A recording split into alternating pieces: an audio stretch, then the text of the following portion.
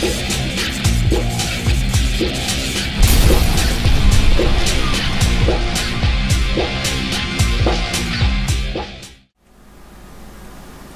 guys, uh, this video is a response to a request that was put onto uh, one of my videos, one of my other videos and it's in relation specifically to the Piper Cherokee uh, from A2A Simulations and how to land the thing.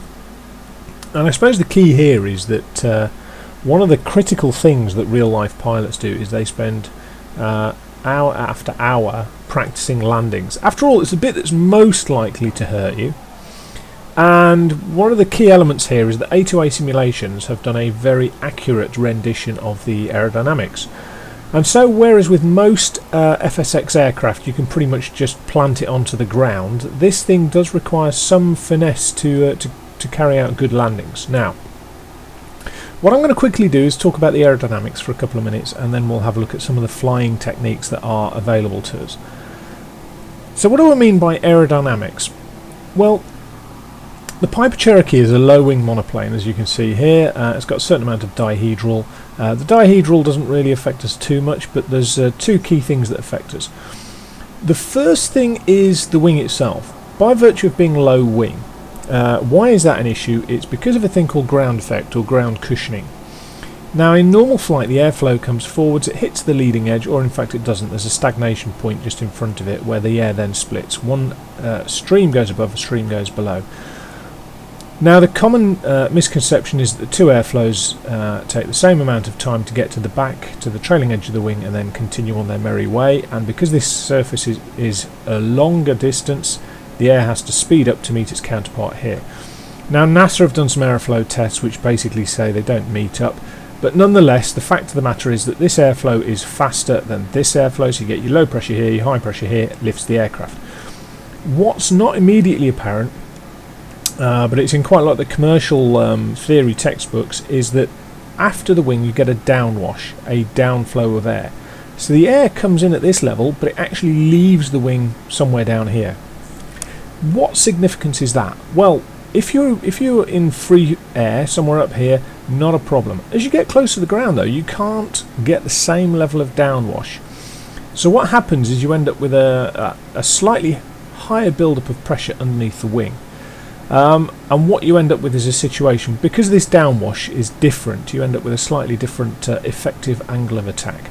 Uh, it's all very big words, but basically the short of it is you have a slight increase in the pressure beneath the wing compared to that above the wing, and that means that as you get into ground effect, you generate more lift.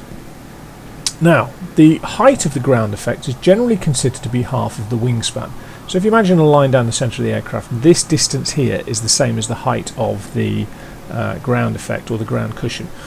Now obviously it's not consistent, it's stronger as you get towards the ground and weaker as you get up here. It doesn't just suddenly take effect all of a sudden. Um, but that has two real principal things. The first thing is that you get this gradual increase in lift, which means the aircraft is, has a, a lower tendency, or is less willing, shall we say, to get to the ground. Now, in theory, you'd think, oh, well, you know, surely free lift or easy lift is, is a beneficial thing. It's not if you're trying to do a short landing. When you're doing short landings, you want this thing to get to the ground as early as possible so you can start braking. Uh, the second thing is, this, uh, this ground cushion can cause uh, problems. There are instances where an aircraft uh, rotates too early and it gets four, five, six feet in the air because it's still under the ground cushion. But as it moves upwards, the amount of lift uh, aid from the ground cushion reduces, but it hasn't got enough forward airspeed outside of the ground effect to uh, to maintain the height.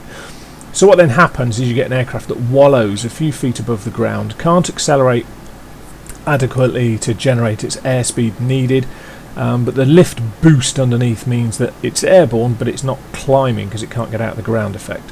Um, quite often that results in aircraft going through the uh, the fence of the hedge at the far end of the runway um, as they wallow their way into the uh, into the bushes. So that's the first thing is to be aware of ground effect. The closer to the ground you get, the more lift benefit you get from ground effect, and in effect, it will cause the aircraft to want to float. So that will extend your landing distance. So you have to be aware of that. What can you do to counter that? You can fly the right speed. um, you can fly the right approach speed. If you come in with too much speed, the ground effect is greater for the more speed you have, and you'll have to bleed off speed, and that takes time. This is Birmingham Airport in the UK. You can see the length of the runway for a PA28. That's really not an issue. Um, but for a jumbo or well not a jumbo the 777 that flies in here that's a huge issue the next thing to be aware of is the propeller now if I sit here let me just drop it down a bit with a view you can see that the propeller disc any airflow getting thrown back from that will hit the fin uh, and the rudder and the stabilator but not the ailerons what that means is that uh, this portion here the leading edge uh, and the wing root are within the disk of air that's being thrown backwards by the propeller. Now that air is moving faster than the air that the plane's moving through, so you have an area of increased lift here. That means that if you increase your power, open your throttle, all of a sudden you have an increase in airflow going over this section of the wing, and, oh, hello, here we go, 146 is going to uh, crash into us, hopefully it's going to miss us. Oh, he's doing a go around. Well done, FSX. Um, this portion of the wing will generate more lift if you increase the throttle and therefore the aircraft will rise. If you remove the power from the engine, you throttle back, this will generate less lift and you will go down. And that's an almost instantaneous effect. The piston engines are very responsive in an aircraft like this uh, and therefore the airflow that comes off the back of them is uh, very changeable. It's an almost immediate effect and so the lift portions here uh, which benefit you will uh, reduce or increase dependent. Likewise, these controls here, the rudder and stabilator, are in the airflow from the propeller. So if you have a high power setting with lots of air being thrown back, these become quite taut and responsive. If you have a lower power setting, they become quite wallowy and uh, inaccurate. And then likewise at low air speeds, the ailerons uh, become less effective because the airflow going over them is reduced. So now we've got two things to think about. Low wing monoplane, makes this harder to land with regards to ground effect and ground cushioning than say a Cessna 172-182 which is a high wing monoplane. Um, the second thing is you've got to be wary of the propeller and the airflow of the propeller. The third thing to remember now is in terms of the undercarriage. Now we want uh, a nose up landing profile for two reasons. First off, um, our speed should be such that in order to maintain uh, a relatively reasonable rate of descent, the nose wheel is off the ground. These things are very robust. The main wheels, they're designed to take most of the aircraft weight and all of the aircraft impact hitting the runway. These things are not the nose wheels. There's no end of crashes uh, in the general aviation documentation where these things collapse, either because the pilot lands with these things first, or it's dropped onto the ground, or it's a rough landing where um, the nose wheel has too much weight on it. Now the nose wheel is for low speed to stop the prop hitting the ground and help you steer. Uh, at high speed you need to try and relieve a lot of the weight off this. So in effect you fly the nose wheel by using your stabilator. So there we go, we've got three key things to think about. One is the low wing with the ground cushion, one is the propeller with its effects on controls and lift, and the final one is the nose wheel. So, how do we control the aircraft in terms of landing? Um, normally, flying the aircraft, you would use pitch to affect your flight path and the engine to affect your speed. However, when you approach, um, unlike a big jet, these things don't have huge amounts of inertia, but they do have an incredibly responsive engine. So what you actually do in landing is you use the engine to control your altitude, or your rate of descent, I should say, and you use your pitch of the uh, aircraft to control your speed. The reason being is that the control of speed is less responsive, but the engine is more responsive. So really with this it's a bizarre combination. With a jet it's different. You just drive it at the ground and then your engines which are less responsive in a jet are used to control speed. The reason being is that the inertia of the plane means it's not really that um, that picky about speed. It, doesn't increase or decrease speed uh, at the same rate as one of these will. One of these is quite draggy but the engine's quite responsive. However you use your engine to control your rate of descent because you change your power setting, you then change your pitch to maintain that speed. And landing one of these is all about speed. So what we'll do now is we'll get into the air and I'll demonstrate what we're looking at. Okay guys, you join me now um, as I come back round towards Birmingham. Um, now I'm about 2,000 feet, just over 2,100 feet above the airfield. Um, and what I'm going to do is I'm going to line us up on finals and then I'm going to talk through uh, an approach as we come round. I just need to tighten that turn. We're at 110 knots and we're uh, we're pretty much level. Uh, give or take a slight descent because of the turn. Let's get ourselves round. This is all visual, of course, slightly right of centre line, but I can correct that as we come down. Now we're uh, we're going to fly initially level, and what I'm going to do is I'm going to talk about uh, the key elements on how to fly this approach. We are um, just slightly above a three degree glide slope, so we'll start a descent, and then I'll uh, quickly pause it and uh, give you a quick update as to what's going on. Right, our touchdown point is over here. You can see the white approach lights. Our touchdown point is uh, just generally beyond those, and on the left you've got the four white lights of the PAPIs. Now the PAPIs, the precision approach path indicators, are only generally at uh, medium to large airfields. Uh, they have four lights, two white, two red, and will indicate a three degree glide slope. Now the first thing I'm going to point out here is that a three degree glide slope is great for an airliner but it's not necessarily great for a single engine lightweight aircraft like this because the problem is if you lose the engine you become a very very posh expensive brick and generally you will fall short of the airfield somewhere down here. So because you're at low speed you generally have a flaps out uh, you haven't got much momentum because you're a, a light aircraft um, and as a result as soon as you remove this prop remember we had the issue with the prop slipstream going over our wing roots so as soon as you lose this, you lose your thrust, you lose a small portion of your lift, you lose your inertial momentum very quickly, and to maintain airspeed, you have to whack the nose down significantly. That means that if you've already deployed flap, you'll uh, end up meeting the fields just short of the airfield. So you'll quite often find that a light aircraft will fly a steeper approach than 3 degrees. It's nice to fly the airliner style approach at 3 degrees, but in one of these it's not essential. Because you've got a couple of things to help you out here. Uh, you've got some flaps that actually can help you with a significant rate of descent. Uh, you've also got uh, a trick called side slipping, which I shall uh, show you in this section. Uh, what I'm also going to do, by the way, is I'll uh, I'll do this approach and landing, and then I will demonstrate a couple a much smaller airfield, one how to do it incorrectly, and one how to do more of a short field landing, and they will have fewer references than this does. So that's the key thing there.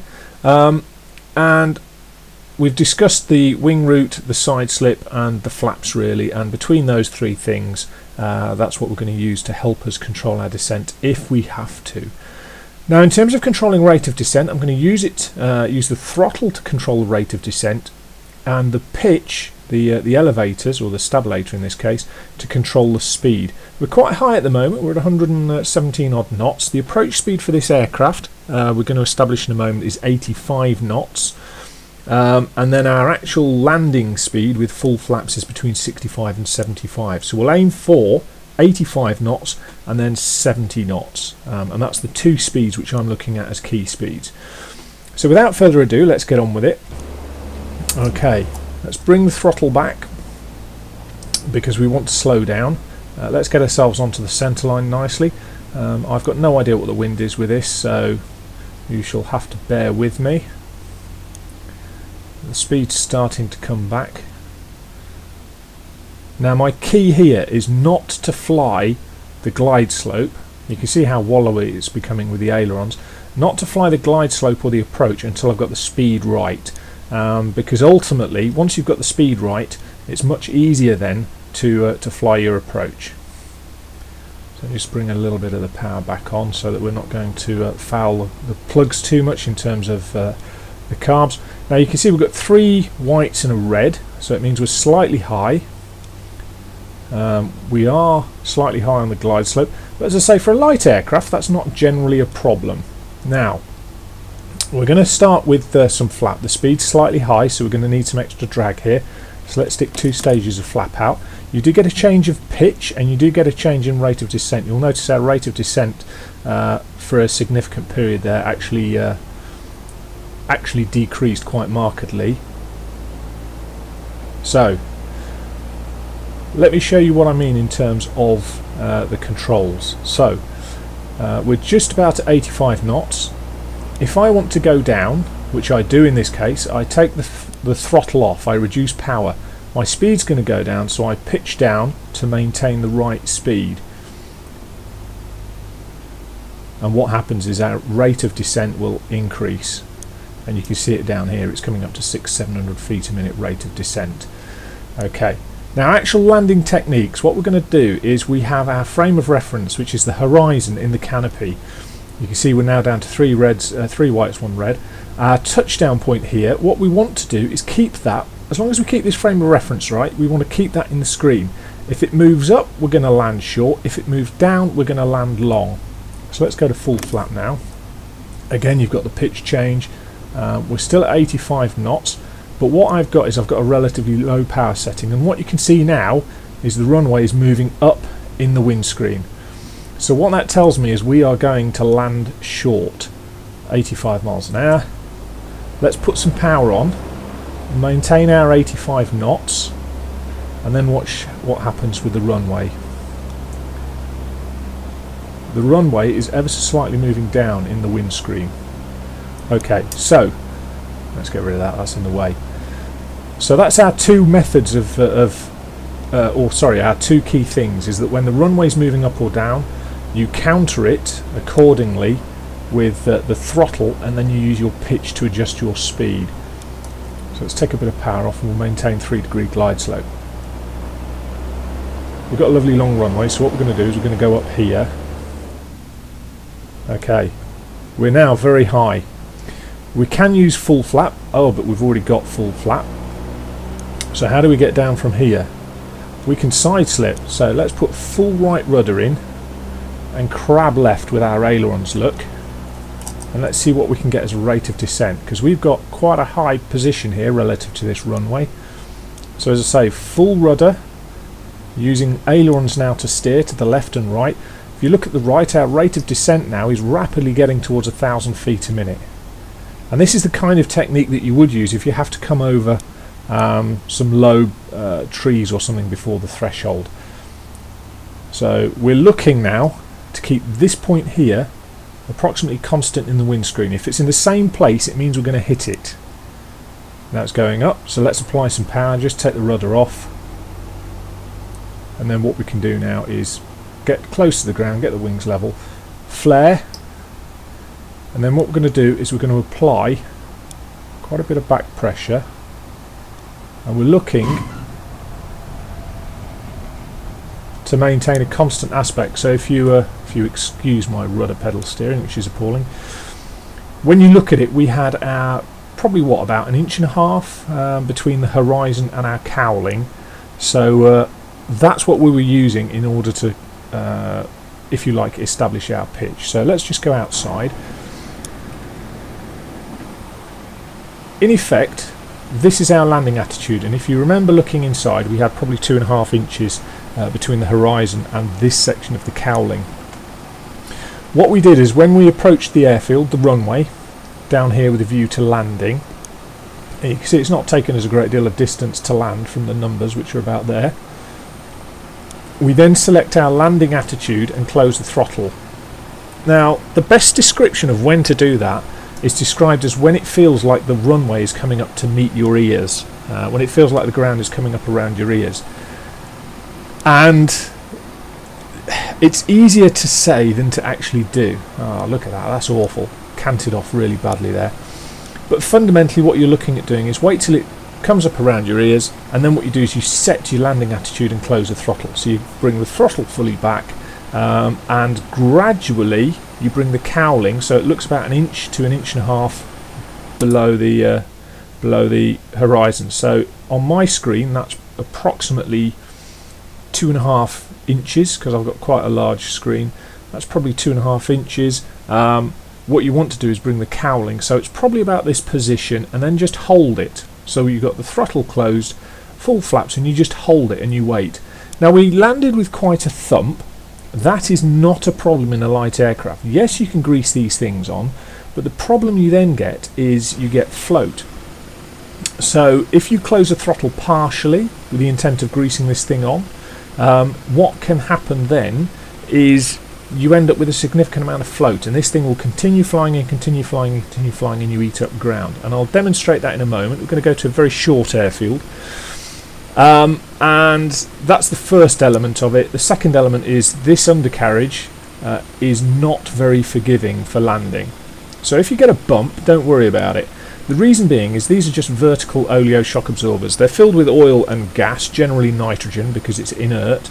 Um, but basically what happens is, unlike say trailing link undercarriage or the undercarriage you see on something like a 747 where it has multiple wheels on the bogies, these are very agricultural but they're very strong. So you'll generally find in real life a lot of the time you'll get a, a relatively significant thump when these things hit the ground. So what we're going to do now is going to go off to Bourn, um, which is a small uh, regional, well not even regional, it's a small local grass strip, and I shall see you there in a moment. Hi guys, welcome to Bourn. Uh, you can see, I mean this is down near Cambridge, so it's in the Cambridgeshire Fens, it's a lovely flat area part of the world, lovely part of the world. This is our runway. This is runway 36. It's only 550 to 600 metres long. It's much shorter than Birmingham. Um, you know, Birmingham's one and a half miles long, one and three quarter miles long. This is uh, just over a third of a mile long. Much shorter. Couple of things now. It's quite short. You can see from the position we've got no landing aids around us here. So all we're now looking at is the shape and position of this uh, runway. And I can tell you looking at that, we are high. So we've started off high here. One of the main reasons is we've got this hedge line just short of the threshold. We haven't got the nice, uh, if you like, run up to the runway that we would have, the uh, the sort of over, oh, sorry, undershoot area we would have at say somewhere like Birmingham or JFK or wherever it is. So, I mean, the reason that's there is because the uh, the undercarriage on something like a 747 or a 777 uh, is a long way below the pilot, but the tail also is. So, um, when they come over the threshold, their aim is to be at 50 feet. Um, but they have this undershoot area where they uh, they try and keep it clear of obstructions. Not so with light aircraft airfields like this. So this is going to be a challenge to get in. Now, the first approach I'm going to do, we're going to be going in pretty quick um, and we will see what happens in terms of in fact no the first approach what we're going to do is we're going to try and do it uh, nice and slowly.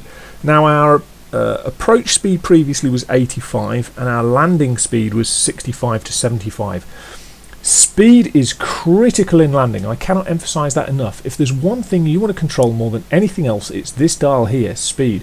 This is pause, so I'm going to have to try and jump into it. I've got no idea what the trim settings are because I, uh, I saved this flight uh, yesterday. So I've got no idea if my controls are set up right with the trim. So what you'll see is this uh, this manic bit uh, as I regain control of the aircraft. But this is critical. I'm going to want this down at 65 knots, full flaps, and uh, as we come over the hedge line I'm going to let it bleed back to about 60 we are high so speed control is going to be an issue so I'm going to drop full flap immediately. Don't forget we've got our frame of reference which is this line on the horizon and we're going to look at this whether it comes towards us which means we're overshooting or away from us which means we're undershooting. Um, and we're going to try and maintain that position in the windscreen stationary so that we hit it. So let's see how we get on. There we go there's the aircraft back again. Oh Let's get full flap immediately. So, let's get the speed back. Get the speed back. There's 80. There's 70. Still retaining 70. Now looking at that position, it's remaining fairly static in the screen at 60, 65. Although we've got the throttle closed, we don't want the throttle closed. So let's side slip a bit and get ourselves a faster rate of descent to get down. I don't know what the wind is with this airfield at the moment, so still maintaining 65 knots using forward and back pressure on the stick, not using the engine for the speed because the delay between the engine and the speed is too great.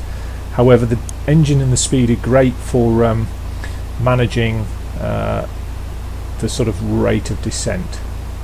So here we go, we're com coming back. Now you can see it's moving up the screen. That means in this configuration at 65 knots we're going to land short. That's not what we want, so we're going to straighten up. To arrest our rate of descent from 1,000 feet a minute, we're going to apply power. And as a result of applying power, we can then uh, raise the nose to control our airspeed. So here we come. The aiming point, the numbers, are pretty stationary. The wind, by the way, is just off the right of the nose. So uh, that's why we're uh, crabbing slightly right. And we're aiming to be touching down between 65 and 60 was the numbers I gave you. So let's get ourselves nice and level. We're still at, well, we're at 67 to 68, and let's see what we can do. So up round our ears, slight flare, close the throttle, wheels are down, lower the nose wheel and brake. The wind's trying to, uh, to cant us off to the right with a, a weathercocking effect. And let's see exactly where we landed. Okay. So let's have a look outside get the flaps up, just clean the aircraft up. We have uh, one, two, three, four, five lines in front of us on the runway. We're on the sixth, and behind us we've only got one, two, three. So we've used what three instead of five, about 40% of the length of the runway, and it's only a 600 meter runway. Excuse me. And we did that by maintaining the right speed. So what I'm going to do is I'm going to reset the situation and I'm going to come in fast and it's only going to be about 15 maybe 20 miles an hour faster which is only about 10 knots. And we'll see what happens then. Welcome back guys, this is attempt 2, we're at 100 uh, miles an hour. So what we're going to do is we're going to go down to about 90 I'm still going to deploy full flap to try and help us with our uh, rate of descent and braking. Trying to maintain the uh, the position of the aim point in our windshield. If anything, we're going a little bit slower than I wanted to do for this demonstration. However, we are high, so uh, we'll control our speed with the nose. We wanted 90 knots. Let's see how we get on. Let's actually bother to get ourselves straight on the centre line. Now, this is where you're going to see the effects of, um, of ground speed, and uh, as a result of the ground speed, you'll see the effects of our float. So as I said, we'd be between 90 and 100. We're coming back into a, more uh, normal profile, if that makes sense. So now we've got a flatter profile. This is why you tend to fly a slightly steeper approach in a light aircraft, is because of the trees short of the threshold look. You know, this is a three degree approach, but look at where the trees are. So now we're at uh, 95 miles an hour. We're only 20 miles an hour, an hour above the recommended speed of uh, maximum speed of 75 miles an hour as a landing speed. Oh, the numbers are going underneath us, so let's close the throttle, let's panic. But we're still going too fast. The ground cushioning means the aircraft doesn't want to go down. We're still losing speed, but the ground cushion, the aircraft doesn't want to go down. Heavy landing towards the end. We've bounced the nose wheel, we're hard on the brakes, the throttle is fully closed. And here we go, we're still doing 40 miles an hour. This is the end of the runway. And are we going to stop? No. Imagine that with a hedge line or ditch in the end. Um, you know, we would have nosed over. Now, on recognising that, that's where you do a go around, but you've just seen the effect of the ground effect. And the effect of the ground effect is that even with full flap, which can be quite draggy, even with full flap, we've landed long because the aircraft did not want to go down. That's a combination of the speed and the ground effect and even though, as we came over the threshold, we had the throttle fully closed and full flap, it did not want to go down. Now that's only about 15, maybe 20 miles an hour difference, which let's, you know, 75 miles an hour to 90 miles an hour doesn't seem like that much of a difference. But you can now visually see the difference and why the speed is important. Uh, the speed is your fundamental control, the key thing that you need to look at in an aircraft doing a landing. Control this and the rest of the landing will be a nice stable approach. So hopefully you guys found that useful. If you did, please don't forget to tick like, subscribe or share. Um, and if you have any questions or any remarks, please feel free to leave them in the comments below and I shall speak to you guys soon. Take care.